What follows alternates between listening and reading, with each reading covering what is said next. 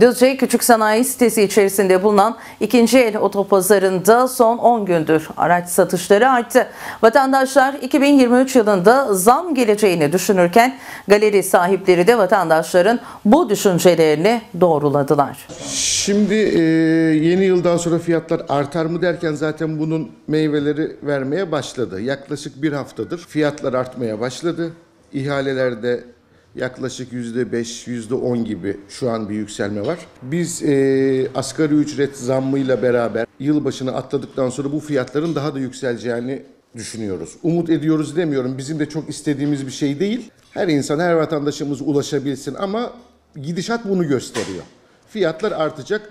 Hatta ki araç almak isteyen kısmada şöyle bir e, şey yapalım, seslenişte bulunalım. Yılbaşına kadar bütçeleri uygun veya bütçelerine yeteri kadar araba almalarını tavsiye ediyoruz biz. Yani yılbaşından sonra e, Aralık ayı sonuna kadar olan kısımdan yılbaşından sonra bir 5 yüzde 5 yüzde 10 daha pahalı alacaklarını umut ediyorum. Şu an araba e, alımına yüklenilmiş durumda. Hareket var. Yaklaşık 10 gündür bir hareketlenme var. Gün geçtikçe de hızlanıyor ama her günde kısım kısım zamlar geliyor. Bu yılbaşından sonra da devam edecek.